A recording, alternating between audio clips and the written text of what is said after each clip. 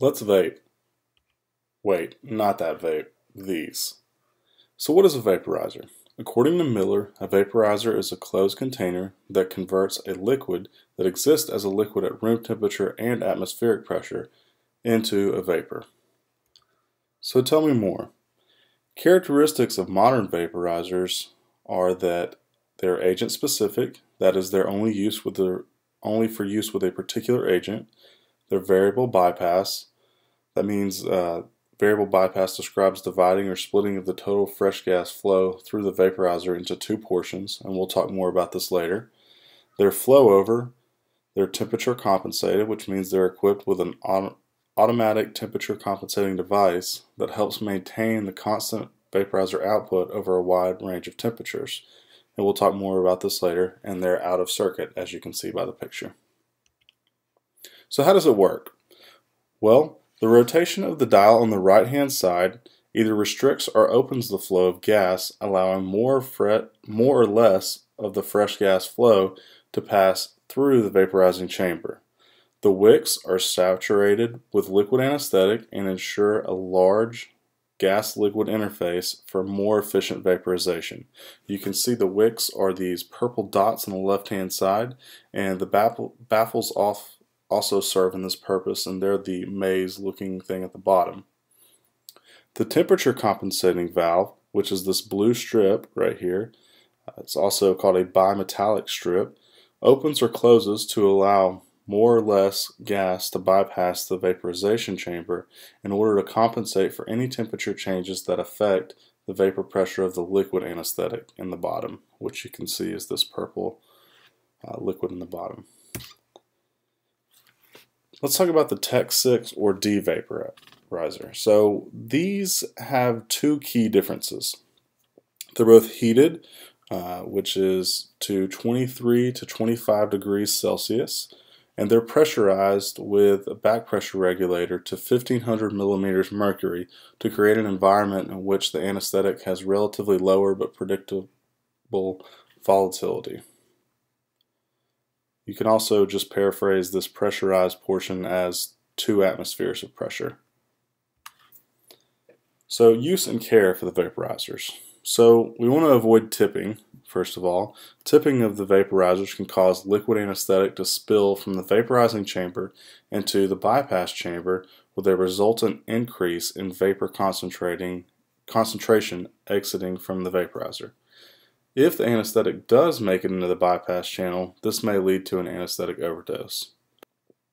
The safety interlock device, which you can see at the bottom of our slide, um, ensures that only one vaporizer can be used at a time.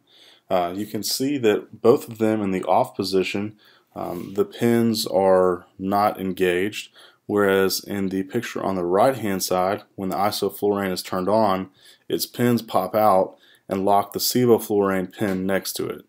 Uh, you can also see that the Sevo pin pops out to lock the next vaporizer if there were more than two in this uh, diagram or on the machine.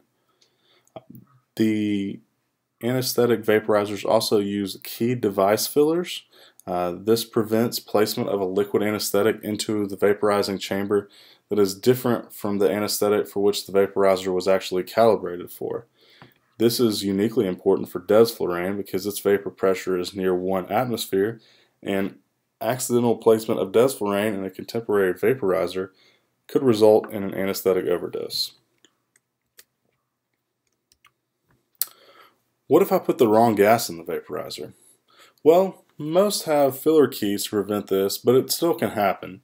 Uh, as you saw the filler keys on the previous slide. Um, this is where we like to go to the high-low-high method or low-high-low, whichever one you're dealing with. Uh, so you can see the vapor pressures listed here from sevoflurane to desflurane.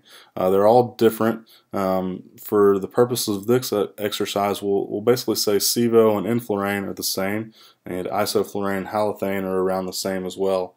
Um, so if you're placing a sevoflurane into an isoflurane vaporizer, that's going to be a low vapor pressure agent placed into a high, higher vapor pressure use only vaporizer, which then will result in a lower than dial output on the actual vaporizer. So with this one, you would need to turn up the dial more than you would actually think because the sevoflurane was placed in the isoflurane vaporizer. Now, uh, if you place an isoflurane in the sevoflurane vaporizer, that's going to result in a higher than normal output than what's actually going to be reflected on the dial, and you would need to adjust this accordingly. So what about elevation change? How is this going to actually affect our anesthetic? Well, According to open anesthesia, at a higher altitude where the barometric pressure is half that at sea level, uh, the amount of isoflurane vapor output increases due to lower barometric pressure.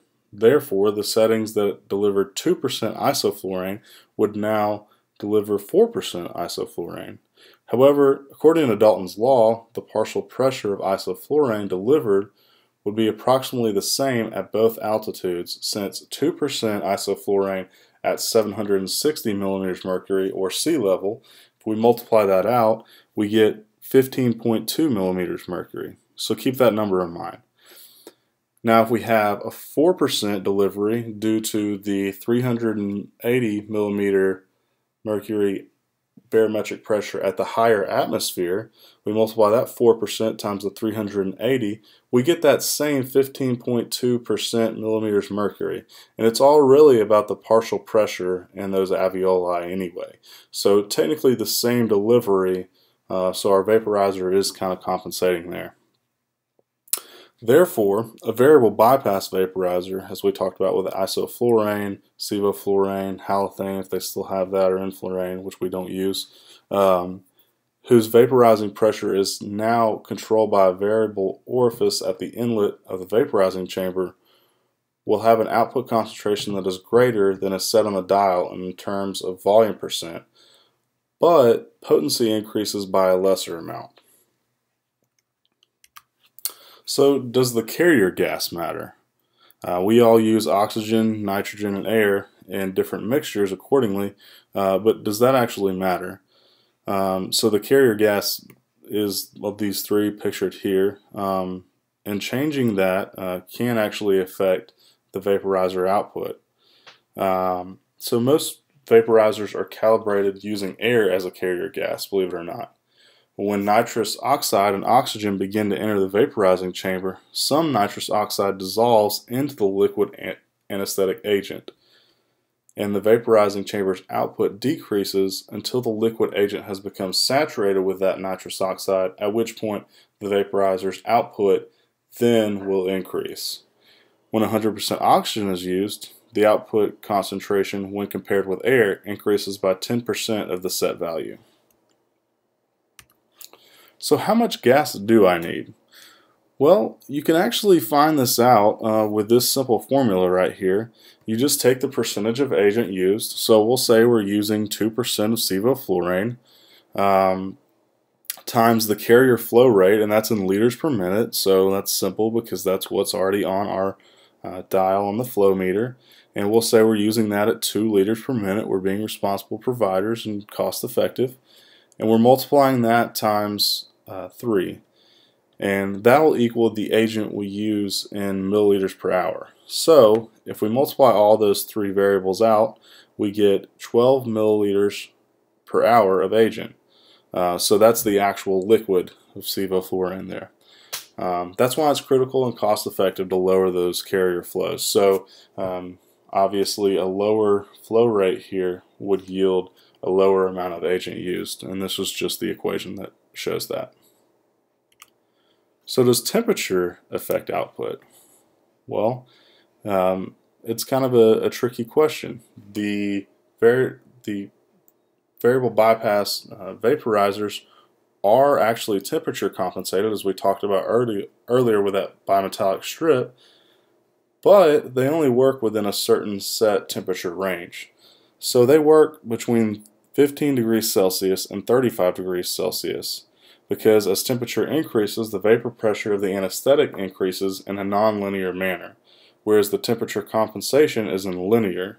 Indeed, the output may become unpredictable and uncontrolled, but if the boiling point of the agent is reached, um, this can become an issue. Also, if the temperature falls below the specified range for use, in this case 15 degrees Celsius, the output may be unpredictably low. Um, the 15 to 35 degrees Celsius is a range that I gave off of a particular vaporizer, um, and that can vary from manufacturer to manufacturer as well. So these are the resources that I use for this, um, and that is all. Thank you very much.